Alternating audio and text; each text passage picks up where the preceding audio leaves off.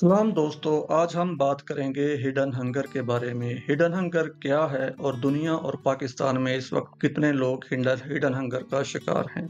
دوسرے نمبر پر ہم بات کریں گے کہ اوور دا ایئرز ہسٹوریکلی ہماری فوڈز کے اندر نیوٹریشنل کوالٹی میں کیسے کمی آئی۔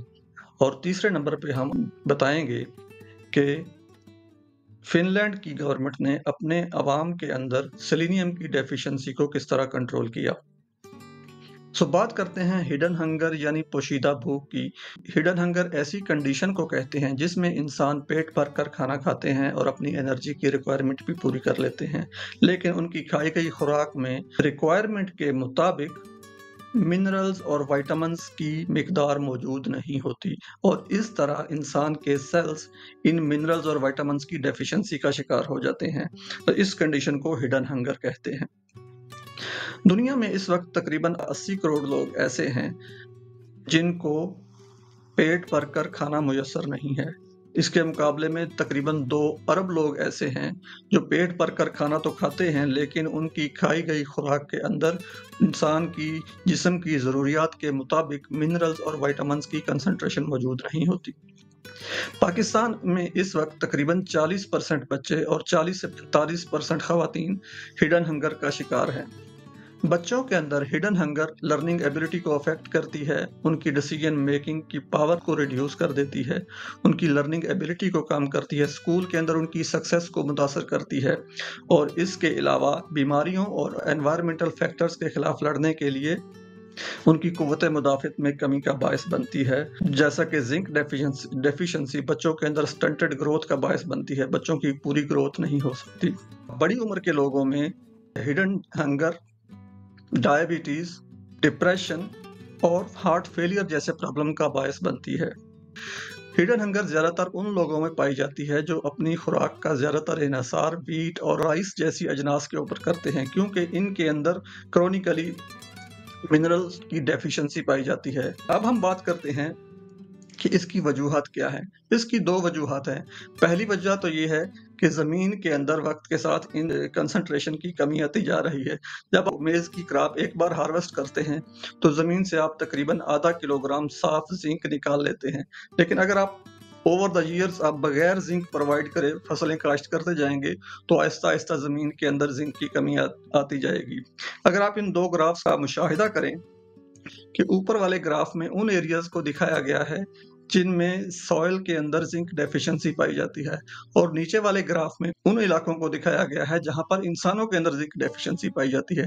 اگر آپ دونوں کو دیکھیں تو یہ بہت زیادہ اوور لیپ کر رہے ہیں گرافز جہاں پر ان زمین کے اندر زنک ڈیفیشنسی پائی جاتی ہے، انہی علاقوں میں انسانوں کے اندر بھی زنک ڈیفیشنسی پائی جاتی ہے۔ یعنی زمین کے اندر اگر کوئی ایلیمنٹ موجود نہیں ہے، کوئی منرل موجود نہیں ہے، تو وہاں پر گرو کی گئی فوڈز کے اندر بھی ان منرل کی ڈیفیشنسی ہوگی۔ اور ایز اے ریزلٹ اس خوراک کے اوپر پلنے والے انسانوں میں بھی اس اس منرل کی ڈیفیشنسی پائی جائے گی۔ دوسری ریزن یہ ہے کہ وقت کے ساتھ ساتھ جس طرح گرین جیل میں اضافہ ہوتا گیا، تو ان منرلز کی کنسنٹریشن اس میں ڈائلیوٹ ہوتی گئی یعنی پتلی ہوتی گئی۔ انیس سو ساٹھ میں جب گرین ریولوشن آیا، انسان نے چھوٹے قد والی ویرائٹیز ایجاد کی جیسا کہ پاکستان میں میکسی پاک ویرائٹی ریلیز ہوئی اور اس کے ساتھ ساتھ یوریا جیسے فرٹیلائزر کا استعمال بڑھا تو گرین جیلڈ کے اندر بے بہا اضافہ دیکھنے میں آیا۔ گرین جیلڈ دو سے تین گنا تک زیادہ ہو گئی۔ تو اس کے ساتھ گندم میں منرلز کی کنسنٹریشن میں شدید کمی آنا شروع ہو گئی۔ اگر آپ انیس سو ساٹھ اور دو ہزار اور دو ہزار دس میں ریلیز کی گئی گندم اور رائس کی ورائٹیز کا جائزہ لیں تو کیلشیم آئرن اور زنک جیسے منرلز میں خطرخواہ کمی دیکھنے میں آتی ہے۔ فار ایگزامپل سائنٹیفک رپورٹس کے اندر پبلش ہونے والی ایک سٹڈی کے مطابق ہندوستان کے اندر جو ورائٹیز انیس سو ساٹھ میں ریلیز ہو رہی تھی، ان کا جب کمپیریزن کیا گیا دو ہزار دس میں ریلیز ہونے والی ویٹ کی ورائٹیز کے ساتھ، تو کیلشیم کی مقدار چار سو بانوے سے کم ہو کر تقریباً تین سو نو تک پہنچ چکی تھی۔ اور اسی طرح زنک کی مقدار 34 سے کم ہو کر 23 تک پہنچ چکی تھی اور آئرن کی مقدار 60 سے کم ہو کر 35 اور 34 تک پہنچ چکی تھی۔ اسی طرح رائس کی ورائٹیز کا جب جائزہ لیا گیا تو رائس میں کیلشیم کی کنسنٹریشن میں 1960 سے لے کر 2010 تک جو کیلشیم کی کنسنٹریشن ہے وہ تین سو سینتیس سے کم ہو کر ایک سو اٹھارہ تک پہنچ گئی۔ زنک کی کنسنٹریشن بیس سے کم ہو کر بارہ پی پی ایم تک پہنچ گئی اور آئرن کی کنسنٹریشن چالیس سے کم ہو کر تیرہ پی پی ایم تک پہنچ گئی۔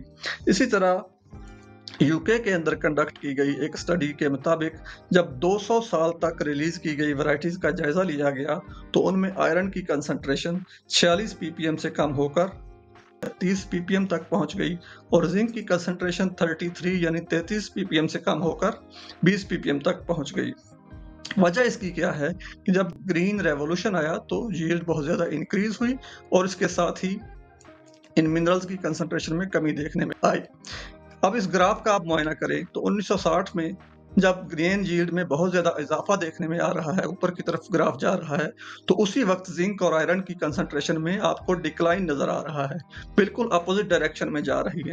یعنی جیلڈ میں بہت زیادہ اضافہ ہو رہا ہے، لیکن اس کی کوالٹی میں کمی دیکھنے میں آ رہی ہے۔ اب ہم بات کرتے ہیں کہ کس طرح ہم اپنی زمینوں کو ریکلیم کر سکتے ہیں، ان کی منرل ڈیفیشنسی کس طرح کم کی جا سکتی ہے؟ اس کے لیے ضروری ہے کہ ہم اپنی زمین کو ایک زندہ آرگنزم کے طور پر ٹریٹ کریں۔ اس سے نکالے گئے منرل ایلیمنٹس کو کسی نہ کسی صورت میں دوبارہ پرووائڈ کریں۔ زمین کو اگر آپ ایک لیونگ آرگنزم کے طور پر ٹریٹ کریں گے، تو اس سے آپ نکالے گئے منرل ایلیمنٹس فرٹیلائزر کی صورت میں دوبارہ ایڈ کرتے جائیں گے۔ اس سے زمین کی صحت میں بہتری آئے گی اور ایز اے ریزلٹ وہاں پر پروڈیوس ہونے والی اجناس کی منرل کوالٹی میں بہتری آئے گی۔ اس کی اگزامپل فن لینڈ سے لی جا سکتی ہے۔ فن لینڈ نے جب یہ محسوس کیا کہ وہاں پر عوام کے اندر سلینیم کی ڈیفیشنسی بہت زیادہ بڑھتی جا رہی ہے، تو انہوں نے ایک ریگولیشن پاس کی کہ وہ فرٹیلائزر کے اندر ایک خاص مقدار میں سلینیم کو ایڈ کریں گے۔ اس کا اثر کیا ہوا کہ آپ دیکھتے ہیں گراف میں کہ انیس سو بیاسی میں جب یہ ریگولیشن لائی گئی تو اس کے ساتھ ہی گرینز میں سلینیم کی کنسنٹریشن میں اضافہ دیکھنے میں آیا۔ اور اس کے ساتھ ساتھ اگر آپ نیچے والے گراف کا جائزہ لیں، وہاں پر رہنے والے انسانوں کے بلڈ کے اندر سلینیم کی کنسنٹریشن میں بھی اضافہ دیکھنے میں آیا۔ آپ دیکھ سکتے ہیں کہ کس طرح گرینز سلینیم کنسنٹریشن اور ہیومن بلڈ سلینیم کنسنٹریشن کس طرح میچ کر رہی ہے ایک دوسرے کے ساتھ. سو ہم اگر چاہتے ہیں کہ ہماری زمینیں بہتر کوالٹی کی بھی اجناس پروڈیوس کریں، تو ہمارے لیے یہ ضروری ہے کہ ہم اپنی زمینوں کے اندر ان منرل ایلیمنٹس کو پرووائڈ کریں. زمین کو فرٹیلائزر کی صورت میں منرل پرووائڈ کرنے کا فائدہ یہ ہوگا کہ آپ جو سپلیمنٹس لیتے ہیں فارمیسی وہی سپلیمنٹ آپ کو آپ کی فوڈز کے اندر بہتر مقدار میں مل جائیں گے۔